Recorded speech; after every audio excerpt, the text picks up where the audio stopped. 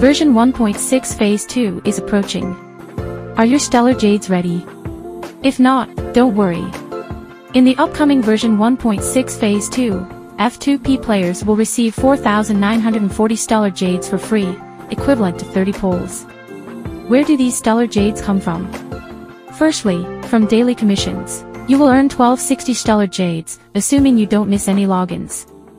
Then, from character trials, you will gain 40 Stellar Jades. New achievements will provide approximately 25 Stellar Jades. The weekly reset of the simulated universe will yield 675 Stellar Jades. The reset of Memory of Chaos will grant 720 Stellar Jades. The Virtual Send Venture event will offer 300 Stellar Jades. Shop Reset will provide 1600 Stellar Jades. The 2.0 live stream program will contribute 300 Stellar Jades. Finally, HoYoLab login rewards will give you 20 Stellar Jades. Therefore, the total Stellar Jades that F2P players can obtain is 4,940 or equivalent to 30 pulls. I have also calculated the total for those who purchased the Battle Pass or Express Supply. What do you think? It's a decent amount, right?